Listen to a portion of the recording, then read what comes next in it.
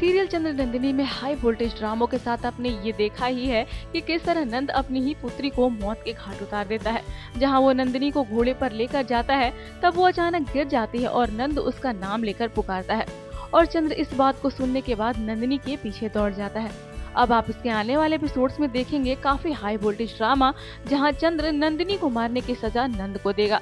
इसके लिए चंद्र पहले इस बात को जानने की कोशिश करता है कि आखिर नंद ने नंदिनी को कैसे मारा। वो तो महल में उसके कहने पर छुपी हुई थी और रूपा को वो अपने साथ लेकर आया था। फिर नंदिनी नंद तक कैसे पहुँची? जब इस सच्चाई को जानेगा चंद्र, तब उसे नंद पर बहुत तेज गुस्सा आएगा। वो फिर नंद से युद्ध करने और उसे नंदिनी के लिए सजा देने के लिए निकल पड़ेगा। अब ये देखना काफ़ी दिलचस्प होगा कि नंदिनी कैसे ठीक होकर चंद्र को वो सारी सच्चाई के बारे में बताती है। टीवी दुनिया से जुड़ी और खबरों के लिए सब्सक्राइब करें top news just for you, top news से प्रयाग की रिपोर्ट।